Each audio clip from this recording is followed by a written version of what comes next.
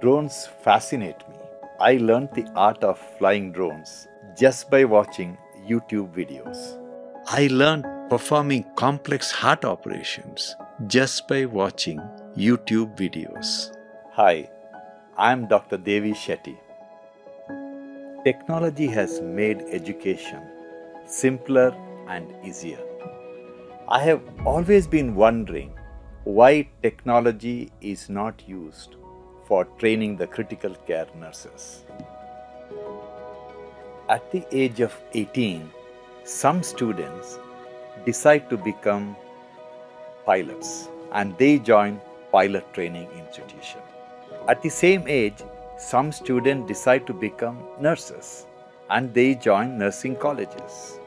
At the end of 10 months, just 10 months, students who join the pilot training institution are allowed to fly a plane, whereas students who join the nursing college at the end of four years, some of them may not be confident to take care of the patients. We wanted to train fresh nursing graduates as the best ICU nurses in just one month at the ICU Simulation Lab. These are the 29 boys and girls with the three year diploma in nursing, not four year BSc. Unfortunately, they couldn't attend many classes or the hospital because of the COVID. In just one month, these kids are taught 20 tasks what a ICU nurse is expected to do, including interpreting any complex ECGs, interpreting blood gas reports, or setting up a syringe pump with a tiny dose of the drug as per the doctor's instruction. As a young medical student, I really didn't enjoy the theory classes. These students were given the link to the YouTube videos of some of the best lectures in relevant topics and they learned at their own leisure.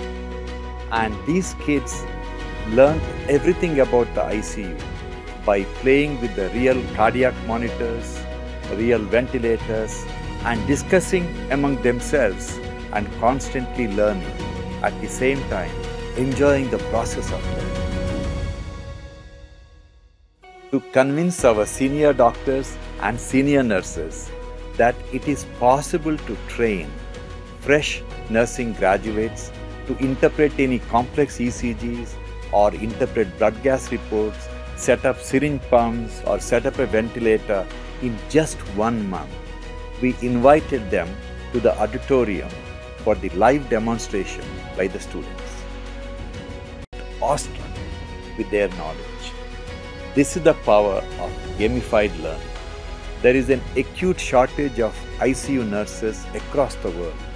It's a matter of time before the entire world will depend on ICU nurses from India and this is the opportunity for us to train the nurses for the world. I have a request. Please do not commercialize this training. I'm sure hospitals can sponsor the training for just one month for the safety of our patients.